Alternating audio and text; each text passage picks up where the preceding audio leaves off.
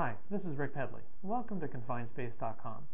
Today we're looking at the MSA Altair H2S gas detector. Now this is a single gas instrument and uh, meant to be worn in your belt or vest or something like that and uh, alert you in the case of H2S exposure.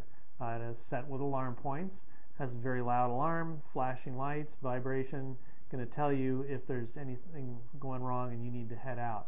Uh, the uh, sensor's right up front, single button for activation. This is the loud alarm. The flashing lights will be here. Display down below. The back, the alligator clip, and the loop for attaching it to a lanyard or something like that, hang it around your neck. Um, this is uh, the type of instrument that we activate. That is, once you turn it on, it's on. It's good for two years, but then um, that's all there is to it.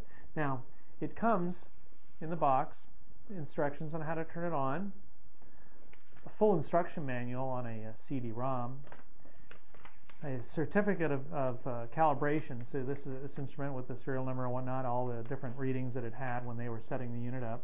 So it comes ready to go. You don't need to calibrate this unit, and uh, very uh, very popular, uh, lightweight, small, black color goes with most anything, right? Thank you.